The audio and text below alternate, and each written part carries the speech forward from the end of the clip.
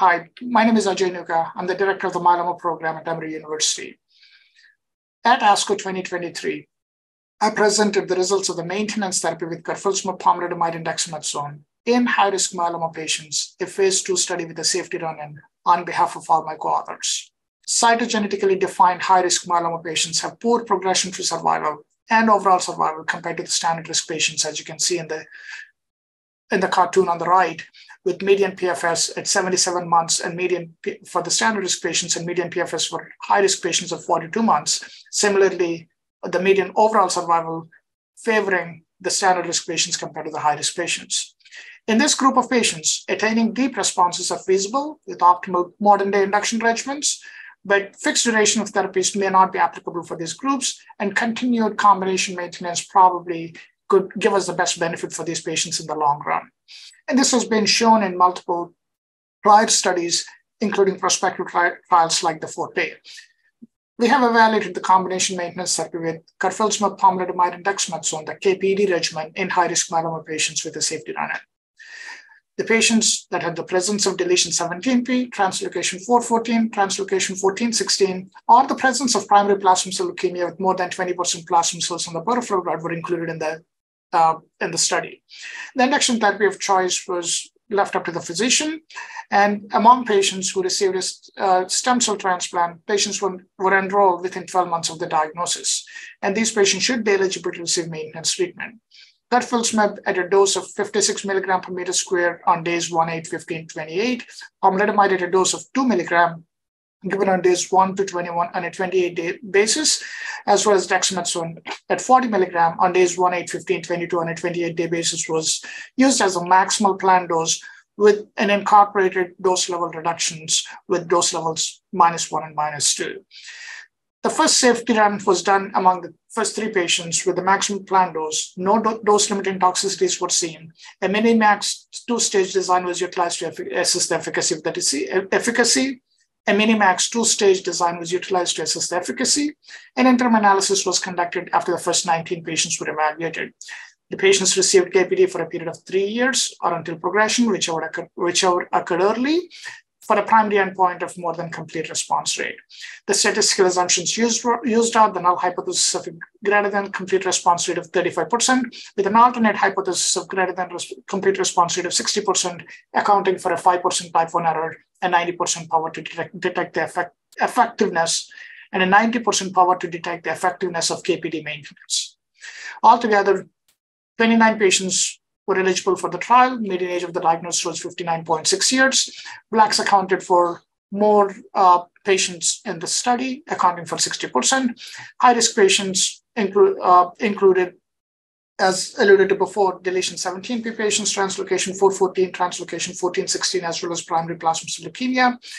If you look at those patients that had more than one cytogenetic abnormality, that accounted for 60% of all the patients. Most patients received either a triplet regimen or a, or a quadruplet regimen as induction therapy. Primary endpoint was the greater than complete response rate, which was seen in 25% of the patients prior to the study entry at the baseline, which escalated to an 89.7% with the, as the best response, and the median time to best, best response was uh, two months.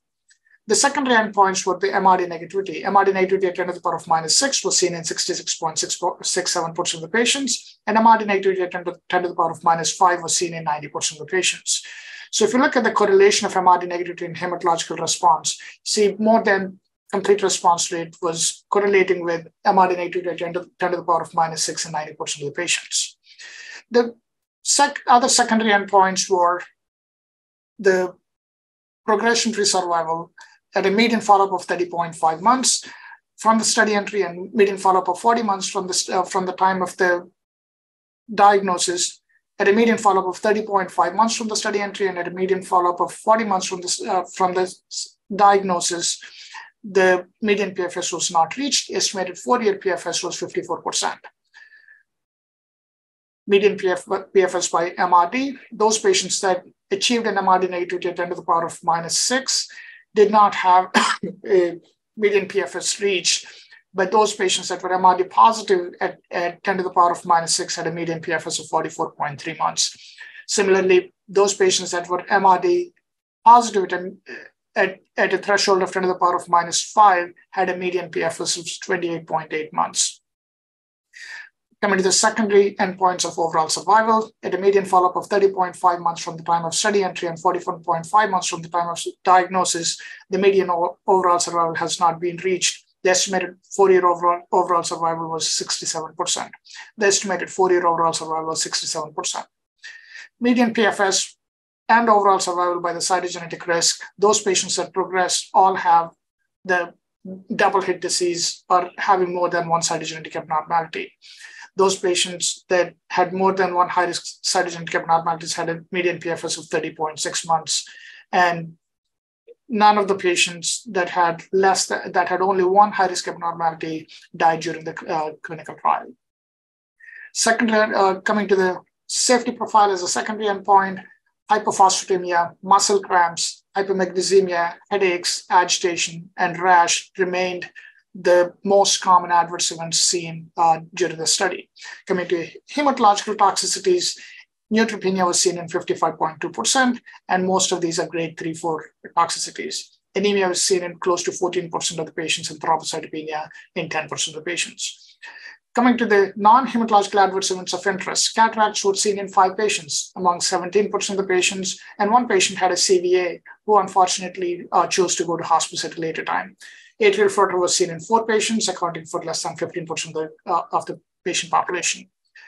So at the time of the data cutoff, eight patients continued to have ongoing treatment, eight patients completed the study, and progressive disease was seen in 10 patients. So there was two, two patients that have decided to opt for uh, opt out of the trial. There are two patients that decided to opt out of the, out of the trial due to a CVA and one from palpitations, uh, one due to commute.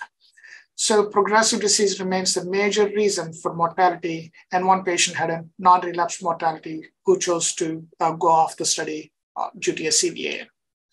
So these results compare very well to the ongoing studies, either from our RVD experience or the SWOG trial using RVD plus elotuzumab, and the MASTER trial uh, using daratumumab plus KRD, and the GMMG concept study using the isatuximab plus KRD.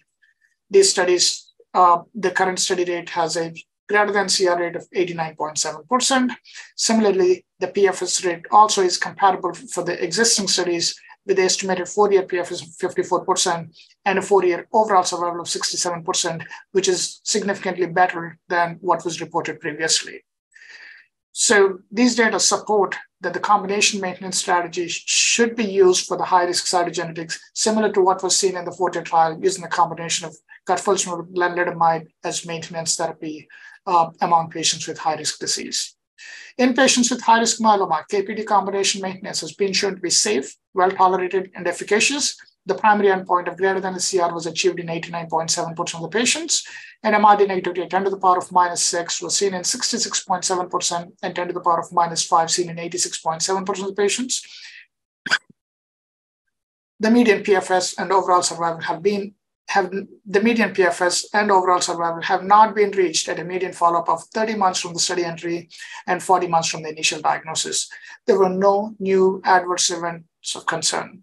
The presence of double hit disease is a predictor for progression and death and will need innovative strategies to prevent relapse. The current results support the exploration of this combination maintenance with KPD in the future studies. I'd like to thank my co-investigators as well as all the myeloma patients.